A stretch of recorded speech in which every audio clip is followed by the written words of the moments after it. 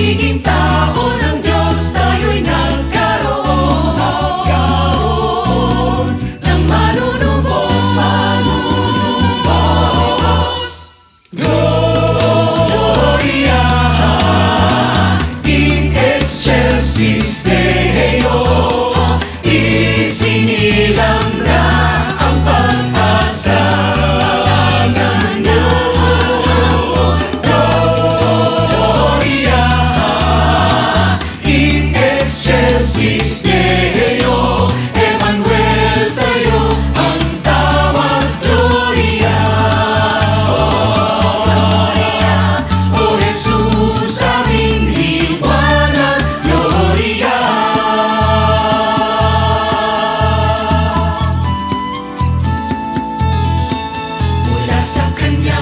Pagkadyos Nanaog si Kristo Jesus. Na